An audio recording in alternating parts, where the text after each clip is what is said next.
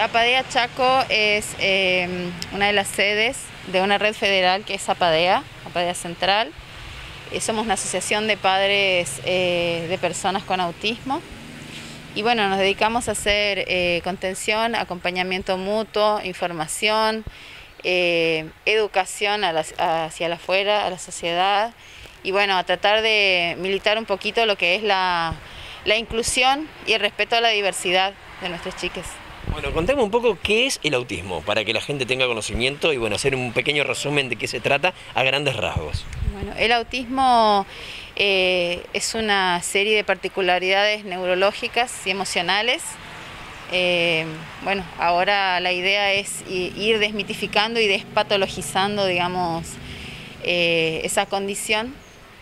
Y bueno, tiene tiene principalmente tres áreas eh, con sus particularidades de afectación, entre comillas, que no tienen las niñas neurotípicas, que son la comunicación, la comprensión y la socialización.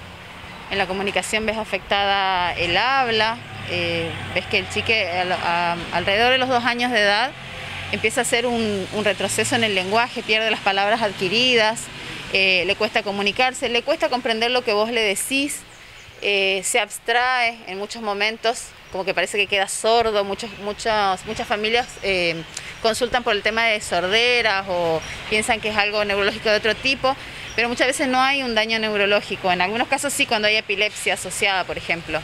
Eh, y bueno, y la socialización, generalmente como tienen sus cinco sentidos muy hiperestimulados, tienden a saturarse mucho con, el afuera, con el amontonamiento de gente, con los ruidos, con las luces. Entonces exponerlo a veces a esas situaciones es eh, riesgoso para ellos, eh, les castiga mucho y también para su entorno porque a veces le puede provocar eh, crisis de nervio en las que se, o se autolesionen o puedan lesionar a otra persona cuando son más grandes. Es una condición que se tiene durante toda la vida y necesita mucha aceptación y mucho, mucho amor, mucho respeto. Eh, y no una patologización que sea eh, como, como eh, distanciar a esa otra edad que una, una EVE diferente, sino más bien abrazarla y aceptar esa como una realidad y adecuarnos, por supuesto, a sus posibilidades y a sus necesidades. Bueno, por otra parte, Apadea y Barrilete ofrecen de alguna manera algo de contención a todo esto. ¿Qué hay que ofrece, qué propone Apadea y qué propone Barrilete? Bueno, eh, Instituto Barrilete es una herramienta eh, de Apadea Chaco en la que nosotros ofrecemos acompañamiento, eh, contención, educación y orientación también para las familias. Tenemos centro de día, centro educativo y servicio de apoyo a la integración. De esta manera se pueden acercar acá. ¿En qué lugar estamos ubicados? En Montevideo 2314, Montevideo e Isaías, en el barrio Vial. 25 años, 25 años de trayectoria, ha pasado mucha gente por acá. Y los resultados, en definitiva, haciendo un balance de grandes rasgos, ¿cuáles serían?